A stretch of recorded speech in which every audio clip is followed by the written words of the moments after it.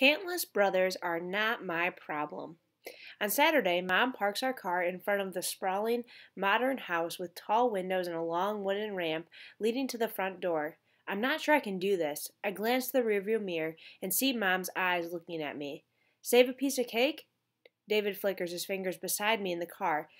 At four o'clock, I catch his hand and hold it so he'll play, pay attention.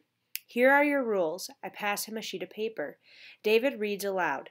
Chew with your mouth closed. Don't open or close doors at other people's houses. Don't look in the refrigerator or turn on their TV. Use a fork for cake, not your fingers. Catherine, I'll watch him, Mom says. Don't worry. Getting out of the car, I'm tempted to yell, Oh, yeah? Like you watched him at Melissa's? But I have bigger worries. Walking to the ramp, I clutch the bag of fancy jelly beans, the birthday card I painted with watercolors of guinea pigs eating cake, pig out on your birthday, and the guitar wrapped in two plastic white trash bags, a huge red bow tied around the neck. It was the best wrapping I could come up with for something so big. My pulse beats with my footsteps on the ramp, and as I get closer to Jason's front door, I hear a thumping bass line and muted laughter. I stab the doorbell. Part of me wants to drop the guitar on the welcome mat and jump into the shrubs, but before I can move, the door opens. I look up at a teenage boy with a familiar wavy reddish brown hair. Hi, he says. I'm Matt, Jason's brother. I'm Catherine. Oh, you're Catherine, he grins, raising one eyebrow. You've made Jason some cool cards. I blush. Of course, everyone who talks to Jason sees my cards. Why didn't I ever think of that? Come in, I'll tell Jason you're here. The living room is crowded with people. Some adults and kids sit in the chairs spread around the room, talking and laughing. Others stand at the table drinking coffee and soda.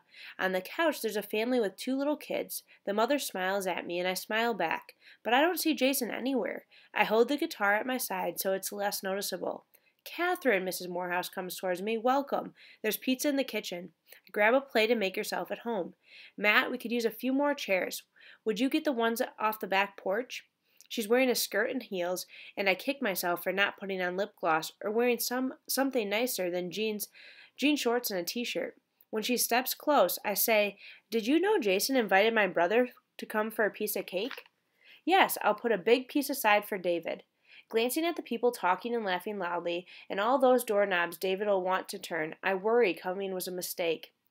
I add the card and jelly beans to the presents piled on the table and sit next to an older woman sliding the guitar under my chair. I should have brought Jason a music CD.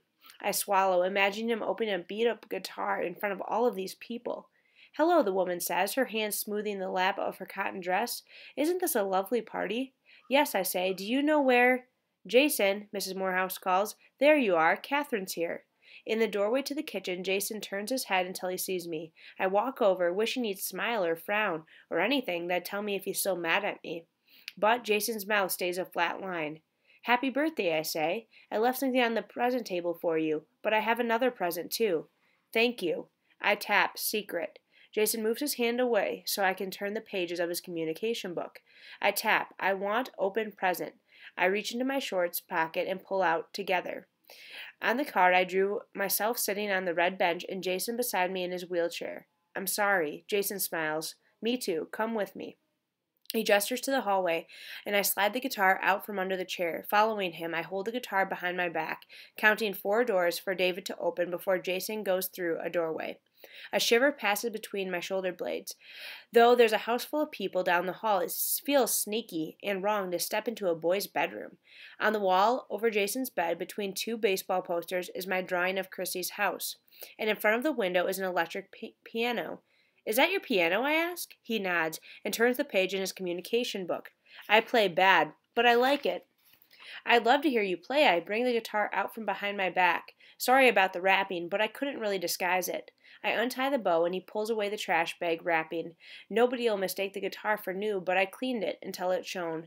Mom took it to the music store and they put new strings in, on and tuned it, I say. That part that's part of parts a present from David, but the guitar's for me. He smiles wide. Thank you, Catherine. Perfect guitar. You're welcome. I lay it across his wheelchair, and he traces his fingers across the strings. It sounds rich and mysterious, lingering in the air even after his hand moves away. Dazzling. He gestures for me to put his guitar on his bed. I take the guitar from him and see it as his pill- on his pillow. Behind me, I hear Jason cross the room to the window.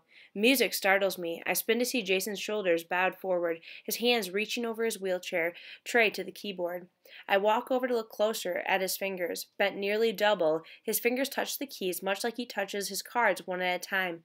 It's a simple song, spare and haunting. That's beautiful. My own music. Jason, a voice calls. I turn. His mother stands in the doorway, smiling. Grandpa needs to leave soon, so let's do your cake now. Jason backs up and turns for the hallway. I sweep a last look at, across the piano, the guitar left on his pillow, the baseball posters, and my drawing of Kristi's house. Walking down the hallway, I hear people singing Happy Birthday, but I hum Jason's song under their singing. I want to remember it. The, the cake is chocolate, my favorite. But I move the cake bits around on my plate, squeezing them flat with my fork. Beside me on the couch, Jason's elderly neighbor is going on about his problem with chipmunks in his cellar. They're cute until they chew through your wires, he says. Mrs. Morehouse answers the doorbell. Thank you for inviting us, I hear Mom's voice. David's been looking forward to this all afternoon. Now I don't think about I don't think about cute, the man next to me says. I think that's the electrician's bill. Before I can greet Mom and David, David rushes past me. Cake? I keep David in my line of sight as he sits in the kitchen table, especially as Mrs. Morehouse shows Mom something out the window. How lovely, Mom says. Are they hard to grow? My husband is the gardener in our family. I stand up. Nice to meet you, I say to the chipmunk man as I watch David slide his hand towards the platter of leftover cake. And, um, good luck. Darn little pests. He turns to the woman on his other side. If you've got one, you've got a whole bunch. I hurry to the kitchen and drop my plate of cake in front of David. Use a fork, I whisper, pressing mine into his hand, not your fingers. Around me, a woman rinses uh, cups in the sink, and Matt scrapes crumbs from his plate into the trash. A teenage girl with braids brings in a baby, his mouth ringed with brown frosting. Can I have some extra napkins? she asks. Jason comes up beside me. Sorry, neighbor, talk, all the time. No problem. My old neighbor, Mrs. Bowman, used to talk a lot too. Sorry, Catherine, new neighbor, friend, can't come. My birthday party. I'm sure Kristi would, ha- would have had fun. I throw David a strict look as he picks up a bit of cake off his plate with his fingers. But the community center dances tonight, and she and she had to help decorate. Do you want to come to the dance? no, she's going with Ryan. I'm sure he doesn't want me hanging around with them any more than I want to be with him. David licks frosting off the side of his hand. I pass him a napkin, but he wipes his mouth with it instead. I mean, do you want to come dance me? I look from, up from Jason's book. He's watching my face, his eyes serious. I can't. Why? I stare at the word card in with its big question mark. Are you embarrassed about me? Of course not. I hear Jason pound his cards, but I can't look. I brush crumbs off David's shirt into my cupped hand. I'm a, just a horrible dancer.